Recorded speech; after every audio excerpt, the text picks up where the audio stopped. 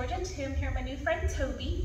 Tobi's about a year and a half to two year old possible Pyrenees Hound mix. His owner's main concerns and complaints is that he's very hard to take for a walk. He uh, pulls on the leash very hard, throws his whole weight behind it. Also, Tobi is really bad about begging for food. He will actually try to get in your lap to grab the food from you. Um, does not understand boundaries at all around dinner time. Also, Tobi excessively barks when he gets overexcited about seeing another person or another dog. So let's see what Mr. Tobi knows today. Tobi, come. Good boy. Sit.